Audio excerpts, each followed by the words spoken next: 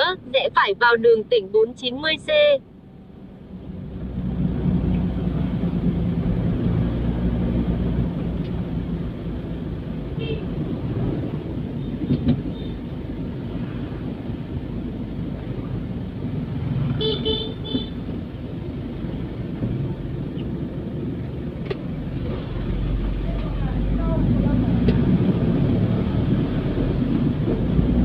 Rẽ phải vào đường tỉnh 490C.